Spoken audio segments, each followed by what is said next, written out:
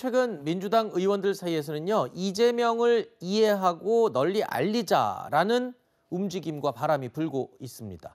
의원들은 너도 나도 이재명 후보가 쓴 책들을 읽고 인증샷과 독후감을 SNS에 올리고 있는데요. 송영길 대표가 먼저 SNS에 이재명 후보 공부를 독려하는 사진과 글을 올렸습니다. 지난 19일에는 당 홍보 소통본부가 각 시도당 위원회에 교육용 자료를 배포하기도 했는데 글쎄요.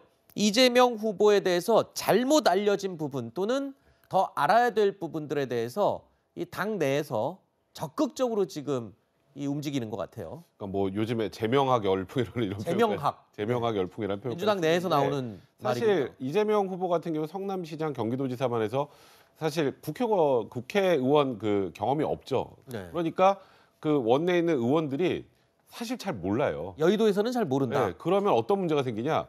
잘 알아야 홍보를 하죠. 네. 본인이 잘 모르는데 왜 이재명 후보를 찍어야 되나를 설명을 잘 못하는 거죠. 네. 그러다 보니까 아까 송영길 대표도 그렇고 많은 의원들이 소위 뭐 이재명 후보의 책이나 이런 것들을 읽고 뭐 SNS에 올리고 뭐 그런 지금 일을 하고 있는 상황인데 뭐 그 부분에 대해서는 어, 민주당의 선거 전략 차원으로 소위 말하는 이재명의 민주당이라는 선거 전략 차원으로서는 나쁘지 않을 수 있는데 다만 이제 아까 뭐 시당위원회 뭐 전부 다 이제 뭐 이재명 후보에 관련된 자료들을 내려보내고 하는 그런 게 약간 강제적으로 한다. 네. 그러면 조금 문제가 있을 수 있겠죠. 네. 그 부분에 대해서 이제 대외적으로는 불편한 분들도 있습니다. 예를 들어서 뭐 진중권 어, 전 교수 같은 경우에는 이재명 유일 체제 북조선스럽다 뭐 이런 굉장히 강한 표현까지 썼는데 그러니까 사실 저게 종이 한 장 차이인 것 같아요.